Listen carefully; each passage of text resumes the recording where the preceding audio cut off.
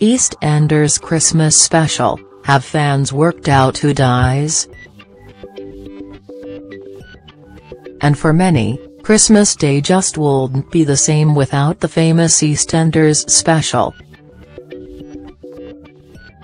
Albert Square is never the most welcoming place at this time of year. In fact, it's jam-packed with drama, deceit and treachery.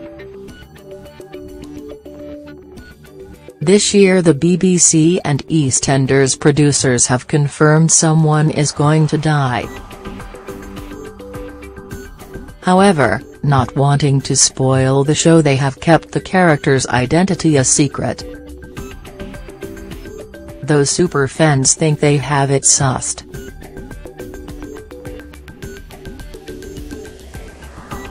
Never watch EastEnders usually but love it when it's Christmas Day and Summit happens. Defoe Max Branning who dies, one fan wrote.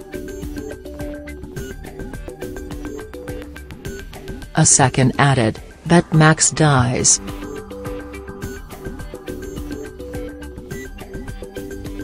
Hash EastEnders. Oh lord, this drama on EastEnders again. If Max dies it's a good thing. Leave Stacey alone, a third wrote.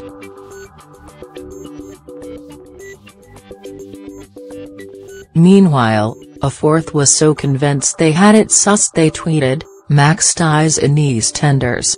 A fifth had a message for show bosses saying, I will be so pissed if Max dies. Stop killing legendary characters. This year's episode saw the iconic Queen Vic pub raided by police after they were tipped off about a loaded gun on the premises.